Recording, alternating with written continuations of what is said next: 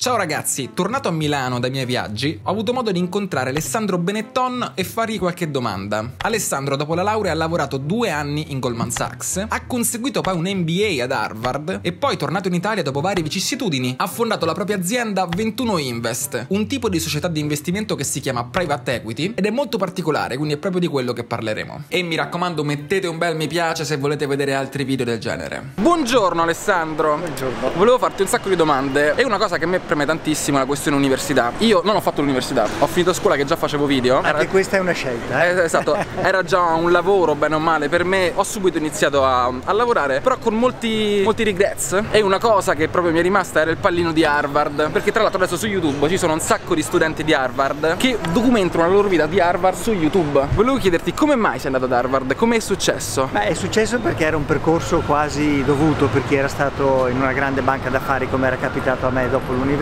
Soprattutto a quel tempo era un po' la più identificata in un percorso accademico che poi aveva degli- dei risvolti pratici. In che senso? Nel senso che uno che passava per Harvard poi aveva tante aziende che lo volevano, tante aziende interessate a quel tipo di professionalità e quindi insomma erano due anni di approfondimento perché in realtà poi si prevedeva che ci fosse già stata un'esperienza lavorativa, no? Cioè, fatto l'MBA, ho fatto l'MBA ad Harvard. Queste classi ad Harvard in realtà sono formulate in maniera tale che si riproduca un insieme, una comunità completa, quindi c'è qualche straniero, c'è eh, delle persone da provenienze diverse, c'è chi viene dal mondo militare, c'è chi viene dal mondo accademico, c'è chi viene dal mondo delle esperienze lavorative, del marketing, della finanza della comunicazione, quindi in realtà è il primo esempio, è l'avvicinamento al mondo del lavoro, in che senso? Dibatti su dei casi pratici che avvengono o che erano già avvenuti e ti confronti con gli altri, quindi impari che oltre all'aspetto accademico, oltre alla praticità delle, delle regole, ci sono però anche l'importanza del dibattito, la capacità di convincere gli altri, il rispetto dell'opinione altrui, ma soprattutto quello di creare delle, delle atmosfere, dei momenti in cui le decisioni vengono prese in maniera collettiva e con la consapevolezza che ci sono anche più di una soluzione. E questo è il miglior percorso nella loro mente, che adesso è stato abbracciato anche da tanti altri, per avvicinarsi al mondo del lavoro. no? Noi vediamo anche in Italia, dove sicuramente dal punto di vista dell'accademia sono uscite di recente delle statistiche molto interessanti che fanno vedere che oggettivamente le nostre università, le nostre scuole non hanno niente da invidiare. Io sono tra quelli che sostiene che i nostri studi classici siano la migliore base di partenza anche per il mondo che ci aspetta nel futuro, dove ci sono tante incognite, tanti punti interrogativi, poche sicurezze. Chi meglio degli antichi che non aveva nessuna informazione sa come affrontare un futuro di questo tipo. Detto questo, poi però dobbiamo anche ricondurlo alla pratica. Questo senso di pratica è quello che ha abbracciato prima di tutti Harvard e forse proprio per quello è diventata un'istituzione particolarmente riconosciuta in tutto il mondo. E per me è stato fondamentale quel passaggio. Per riassumere, ti volevo chiedere di quello che sei riuscito a portarti a casa da questa esperienza, cosa che ti è servito maggiormente per quello che fai adesso? Guarda, quello che mi è servito maggiormente è stato che ho capito, ho studiato con un professore che è diventato poi Michael Porter. Michael Porter. Michael Porter è diventato allora, pensati, la storia è molto curiosa perché era un ricercatore di avanguardia e sembra che quasi quasi lo volessero mandare via. Lo mandavano via perché non stava pubblicando niente. In realtà lui stava accumulando una serie di dati infiniti e potremmo dire che è stato uno dei primi anticipatori del big data analysis. Cosa ha fatto lui? Lui ha studiato il comportamento delle aziende in alcune fasi evolutive con una prospettiva diversa rispetto a quella classica. Allora stiamo parlando della fine degli anni 80, all'inizio degli 90, qual era il sistema classico per studiare o pensare all'impresa? Era quello di dire tu sei del settore della chimica, hai delle peculiarità, sei del settore dell'abbigliamento, ne hai delle altre. Lui per la prima volta, in senso antropologico, dice ma proviamo a guardare cosa succede alle aziende quando arrivano a dei bivi di tipo tecnologico, di tipo evolutivo, di misura. Tanti comportamenti di queste aziende erano uguali nonostante i settori fossero completamente diversi. Quindi si è messo a studiare un numero di casi enormi è arrivato a una conclusione, è arrivato alla conclusione di un teorema che è il teorema che determina il grado di competitività e le azioni che caratterizzano la competitività delle aziende. Mi sono portato a casa da Harvard il modo di ragionare, cioè quello di dire al centro dell'impresa c'è l'uomo con le sue caratteristiche, vuol dire che tu puoi trovare delle analogie in situazioni e settori diverse, usando quella che io chiamo l'intelligenza laterale o i punti di osservazione laterali per perché in realtà le cose possono essere scomposte, potevano, oggi è più ovvio a tutti quanti, soprattutto appunto attraverso e grazie al big data analysis, ma allora all'inizio degli anni 90 non lo era quali sono i vantaggi secondo te di intraprendere un percorso universitario? Prima di tutto se qualcuno, mi sembra che questo sia il tuo caso, già ha identificato un filone che ti interessa, che ti porta a migliorarti, che ti sta dando soddisfazione, in cui vedi crescita e vedi la possibilità insomma, di, di capitalizzare su questa iniziativa, non mi fermerei mai, cioè non fermerei mai una cosa che funziona, che sta crescendo per fare qualche cos'altro. Non mi precluderei neanche però la possibilità di farlo nel momento opportuno. Di solito questo vale quando c'è una sorta di di cambio di ciclo. Vale sicuramente la pena, soprattutto quando si è predisposti a trarre il meglio. Il meglio che cos'è? Il network che si genera da queste partecipazioni, a queste frequentazioni, perché in ogni caso ci si incontra con degli altri individui che vengono da posti diversi del mondo, che hanno esperienze diverse. Sono stato di recente a Yale che eh, sempre di più sta cercando proprio di fare dello studio una sorta di rapporto sia accademico tra studente e insegnante, ma anche partecipativo nel senso che eh, si richiede chiede a chi arriva di avere delle idee, di avere delle opinioni, eh, di fare delle ipotesi su come sarà il mondo. Questo sistema classico di vedere qualcuno sul pulpito sulla cattedra che insegna non è completamente moderno più, no? Forse si torna agli antichi greci in cui i filosofi camminavano attorno agli studenti e attorno a chi voleva ascoltare e c'era un'interazione molto attiva. So, ho letto fondamentalmente che hai lavorato due anni da Goldman Sachs come analista. Come mai? Ti divertivi? Allora intanto una... Goldman Sachs due anni di analista vuol dire che preparavo il caffè, facevo le fotocopie e lavoravo fino alle 3 del mattino. Scherzi a parte, è stata... Allora ci sono due, due ragioni per cui questo avveniva. Prima di tutto e oggi è ancora più valido per chi fa l'MBA, proprio perché si vuole rendere più pratico possibile questa discussione dei casi, è richiesto che ci siano parecchi anni di esperienza lavorativa post universitaria. Allora ne bastavano due come era il mio caso, oggi mi dicono che ce ne vogliono anche di più, proprio per arricchire arricchire eh, la discussione. A me è toccato la Goldman Sachs, allora cioè, la finanza stava diventando importante, mi appassionava, mi divertiva. 88, 89? 87, 88, 89, ma soprattutto è stata un'esperienza fortemente formativa per me perché ho imparato il valore dell'organizzazione. Alla fine è più tipico no, che ci siano delle aggregazioni, vediamo, insomma, pensiamo che le più grandi società del mondo non hanno più degli asset, ecco, fisici, no, questo era assolutamente non immaginabile negli anni 80 80-90, cioè che qualcuno che non aveva degli asset fisici potesse essere la più grande società del mondo. Gli unici che un po' si differenziavano in queste sensi erano le società di servizio, appunto la Goldman Sachs, le società di finanza, di consulenza, di gestione patrimoniale, che avevano come grande capacità quella di organizzare tante persone assieme non attorno a un asset fisico. Quindi là ho appreso il valore dell'organizzazione, no? come si riesce a convincere il gruppo a muoversi in maniera coesa, come non si perde l'iniziativa positiva del singolo e lo spirito intraprendente del singolo senza andare a discapito del valore dell'organizzazione e del coordinamento complessivo, quindi è stata un'esperienza straordinaria. Tu calcola che allora la Goldman Sachs negli anni 80 e 90 le banche d'affari in Europa americane non c'erano, oggi governano completamente questo mercato, ma negli anni 80 e 90 c'erano qualche banca, praticamente una banca italiana, qualche banca tedesca, parecchie banche inglesi, qualche banca francese, erano il crocevia delle grandi operazioni finanziarie. Anche questa è una cosa da ricordare negli ultimi 30 anni il panorama è completamente cambiato, de facto il mercato è governato dagli americani. americani. E quindi adesso passiamo a quello che stai facendo adesso, ormai da 20 anni in realtà, da, da, da parecchio tempo. Ahimè, quasi 30.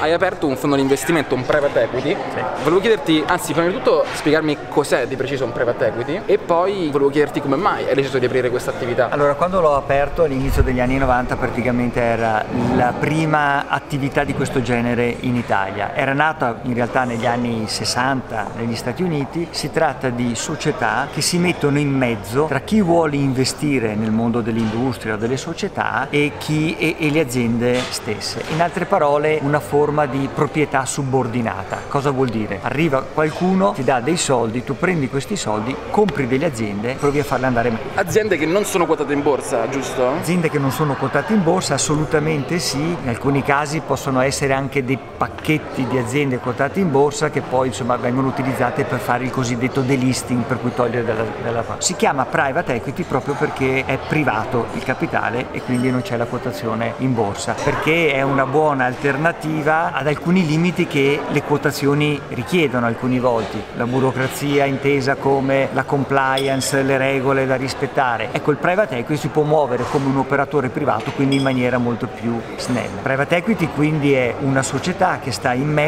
tra chi vuole investire il capitale nell'impresa e l'impresa stessa. Ci si mette in mezzo, si ha in dote del denaro che viene investito, la durata è dai 10 ai 12 anni a seconda delle circostanze, si comprano le società, si cerca di gestirle molto meglio rispetto a quello che era precedentemente o in ogni caso si propongono dei cambi di paradigmi come il caso di 21 Invest, la mia società, le si rivende, questo cumulo di portafoglio che possono essere 7, 8, 10, 12 partecipazioni e una volta che le sono vendute dopo aver creato valore, il capitale si restituisce a chi ha investito e una parziale quota del guadagno invece viene tenuta da chi ha lavorato, in questo caso dall'operatore di private equity. Sì, diciamo una, come si chiama? Una percentuale, una success fee vogliamo mettere, si chiama tecnicamente carried interest. Una volta che ho ripagato gli interessi, il capitale rispetto a chi ha investito negli anni, l'80% generalmente, questi sono i parametri, viene dato a chi ha investito il capitale e il 20% del guadagno rimane a chi ha fatto la cosa, a chi l'ha gestita. Quindi non sono i risparmiatori, diciamo, privati a investire in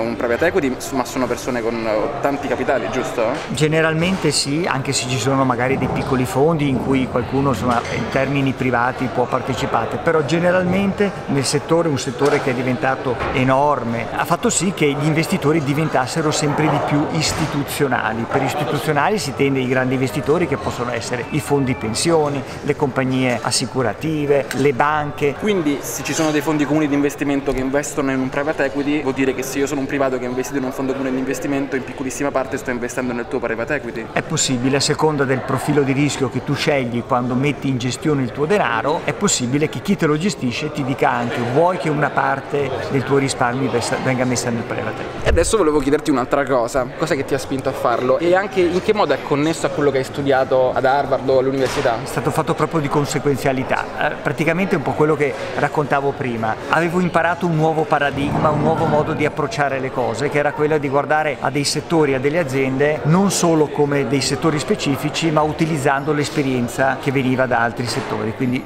ragionare in maniera laterale. Quello che avevo appunto capito che era stato la base del ragionamento di Michael Porter. Torno in Italia, penso che mi devo occupare di alcune attività di famiglia, scopro che proprio queste attività di famiglia volevano seguire un ragionamento molto più classico, appunto il ragionamento settoriale e quindi insomma eh, penso che sia stato il momento in cui ho scoperto di essere un imprenditore per i fatti miei e ho detto ma io quasi quasi invece provo la strada di cui mi sono convinto durante questo periodo di studio. Sono partito con delle cose molto piccole per comprovare che tu puoi aggiungere il valore a certe imprese apportando esperienze avvenute in altre circostanze. In che modo lo fate? Avete una strategia diciamo comune? Diciamo che per noi è diventata, ci sono varie teorie. Per tanti anni questi settori sono stati aiutati dal debito a basso costo, per cui uno poteva indebitarsi parecchio e creare un ritorno proprio perché con la leva finanziaria le cose insomma si, si ripagavano da sole. Il mercato è diventato negli anni molto più competitivo, noi a questo non l'abbiamo mai sposato, noi abbiamo sempre sposato il teorema dell'industria. Si crea valore perché cresce il fatturato, crescono i margini, cresce l'occupazione, quindi, quindi noi abbiamo fondamentali, i fondamentali e noi abbiamo anche sempre sposato i fondamentali di tipo sociale economico, di cui magari poi ti dirò qualche cosa perché è una tendenza molto importante uh, per il futuro. Quali sono le strategie? Fammi dire un esempio. Uh, noi siamo entrati per esempio nel, so nel settore delle sale cinematografiche in un momento in cui sembrava che tutto questo mondo dovesse morire. Passati i DVD, ma insomma c'erano le nuove tecnologie, il pay per view, insomma uno poteva affittarsi il film, guardarselo sul telefonino, guardarlo a casa, sembrava che le sale cinematografiche sarebbero sparite. Noi invece abbiamo intercettato quello che era l'aspetto sociale dei giovani, ci siamo accorti dei mercati più evoluti negli Stati Uniti in cui la sala cinematografica rappresentava qualcosa di più, i giovani che si ritrovavano e che quindi potevano anche andare a un ristorante o a mangiarsi un hamburger, stare assieme, un'occasione per comprare dei gadget, per avere anche dei videogames. E su questo tipo di eh, intuizione abbiamo detto perché non proviamo a consolidare il mercato italiano. Il mercato italiano allora era fatto da operatori come Berlusconi con Medusa, Time Warner che aveva anche lui la sua società, poi da tanti piccoli operatori molto frammentati e questo permetteva in un settore in cui l'incidenza del costo dei film, cioè tu quando apri una sala cinematografica il 50% dei soldi che devi spendere devi pagare i diritti a chi ti dà il film e ci siamo accorti che qui il mercato italiano proprio perché era molto frammentato pagava di più che altri mercati. Quindi partendo da queste due intuizioni abbiamo pensato che consolidando un settore dove non si guadagnava molto, investendo sulle nuove tecnologie, per esempio il satellitare, quindi il satellitare voleva dire che io potevo portare al sabato mattina l'opera da New York e quindi occupare degli spazi che venivano utilizzati solo per i, per i film dalle 5 di pomeriggio a mezzanotte anche durante la mattina, piuttosto che le partite per la tua squadra quando giocava fuori casa, dei documentari per i ragazzini e formativi per la scuola e quindi si poteva capitalizzare su questo traffico dicendo allora il food può essere una fonte di ricavi, gli accessori possono essere una fonte di ricavi, altri prodotti televisivi diciamo da schermo possono essere una fonte di ricavi, potevamo avere più muscoli a quel punto con una massa critica più importante siamo andati dalle major americane e gli abbiamo detto noi non vogliamo più pagare di più rispetto al mercato francese, al mercato inglese, al mercato tedesco. Perché abbiamo, potevate contrattare di più Perché punto. avevamo, bravissimo, avevamo più potere negoziale e quindi potevamo permetterci insomma di far vedere un approccio un po' più muscolare. Quello è stato un settore in cui siamo partiti una società aggregata che faceva un milione di EBITDA, per chi non sa l'EBITDA è il margine lordo, quando l'abbiamo venduta nove anni dopo, otto anni dopo, aveva un EBITDA di 15 milioni, quindi avevamo per 15 volte aumentato la redditività. Noi ci siamo specializzati nel cambiamento, quella che noi chiamiamo discontinuità. Discontinuità che in questo caso era di tipo strategico, in altri casi perché aggreghi, per cui abbiamo tanti altri casi. Penso al caso di Pittarello che è diventato Pittarosso, abbiamo cambiato un marchio e abbiamo applicato il primo modello di business fast fashion alle scarpe, nessuno l'aveva fatto precedentemente, quindi una cosa di cui sono sempre particolarmente orgoglioso e tengo a sottolineare è che nel fare tutto questo noi abbiamo sempre mediamente raddoppiato i fatturati delle società, raddoppiato durante questi cicli l'utile se non addirittura triplicato in alcuni casi, ma abbiamo sempre come minimo raddoppiato anche l'occupazione. E questo è importante perché spesso il metodo classico è licenziare tutti. Bravissimo, una parte per alcuni di creazione di valore negli anni è stata quella di tagliare i costi e metterci debito dentro le aziende. Noi abbiamo dimostrato in 30 anni di storia che abbiamo sempre avuto degli ottimi ritorni facendo un lavoro bene, molto industriale. Oggi siamo super eccitati dalla prossima formula che ci aspetta. Sempre con Michael Porter eh, siamo stati il primo fondo di private equity a partecipare a questa sua nuova iniziativa che si chiama Shared Value. Cos'è lo Shared Value? È un modo di guardare l'impresa innovativa, in cui sostanzialmente si dice che il consumatore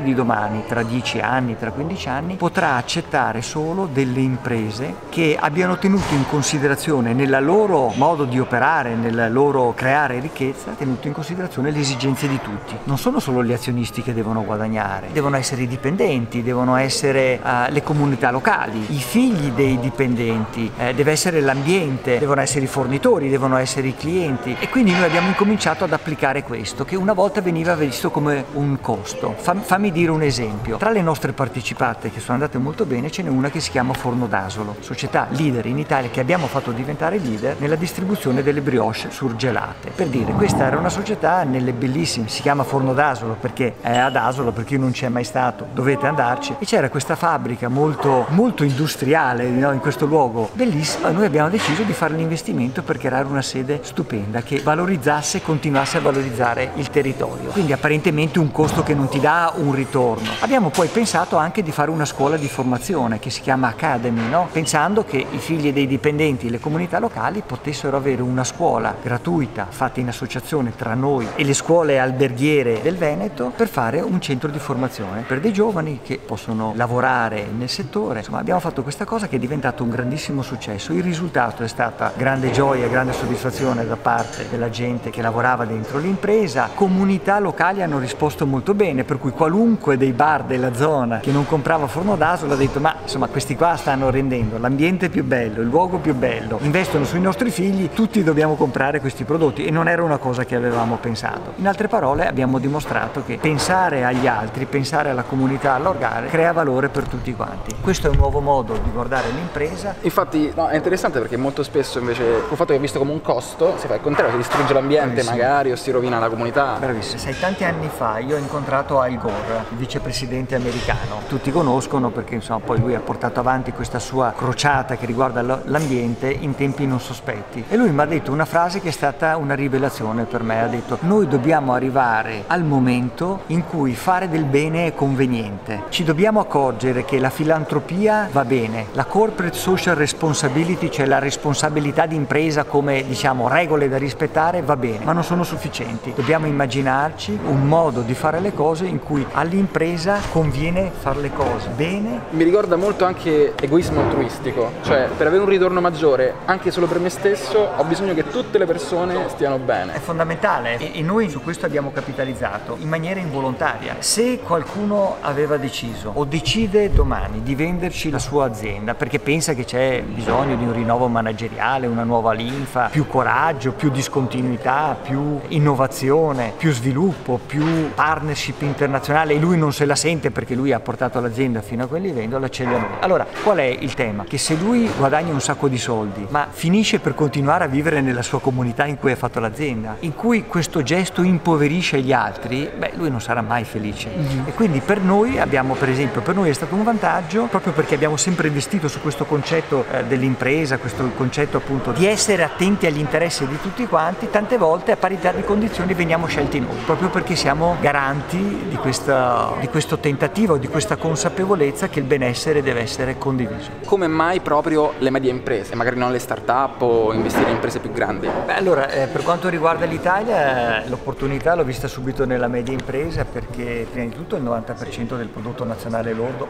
è proveniente da quel settore, quindi qua è dove siamo proprio ricchi. La media impresa e non il venture capital perché il venture capital invece chiede prima di tutto un altro tipo di ambiente culturale, no? non è più quello che poteva essere 20-30 anni fa che uno ha un'idea delle connotazioni tecnologiche, ha delle fasi evolutive diverse, per cui insomma, tante volte uno deve parte da un'idea, la porta a uno stadio, poi passa la mano e la staffetta a qualcun altro che la porta allo stadio seguente. In altre parole hai bisogno di un ambiente che sia già collaudato ed evoluto e l'Italia non ha, sfortunatamente non ha questo tipo di caratteristica. Ogni tanto capitano dei casi, è un dato di fatto, ma sono casi piuttosto, piuttosto rari. Quindi l'ecosistema delle start-up L'ecosistema delle, delle start-up ci vuole molta pazienza perché avvenga. Poi insomma ogni paese, così come ogni azienda, deve avere una propria strategia. Va benissimo che ci siano queste iniziative, però dov'è che noi siamo eh, bravi? Siamo bravi invece nella media impresa dove c'è un contenuto di tipo manufatturiero, eh, dove c'è un contenuto di artigianato, dove c'è un contenuto di sapere eh, metterci quell'ingrediente che riguarda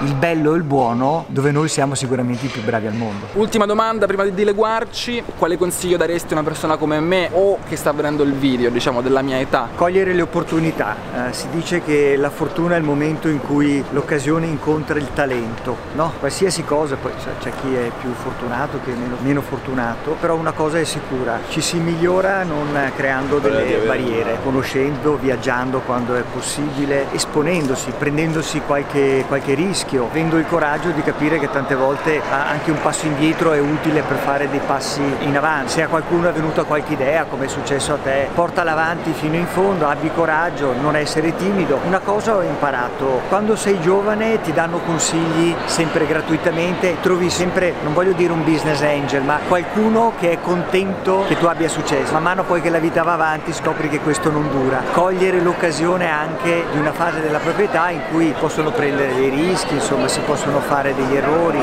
cercare sempre che non siano errori mortali, non siano errori gravi. E un'altra cosa da non dimenticare, può sembrare meno pratica ma ci credo in maniera forte, e poi alla fine ognuno di noi le grandi decisioni le prende per motivi di emozioni, quindi seguire anche le proprie emozioni, la propria pancia, perché tante volte quel tipo di energia fa la differenza. E se qualcuno per caso, per fortuna, è il tuo caso, hai avuto la pancia, l'intuizione, seguila fino in fondo. Capiterà poi l'occasione di un nuovo ciclo universitario o bene, te lo sai conquistato e sarà un ulteriore tassello alla tua crescita e sono sicuro poi al tuo successo.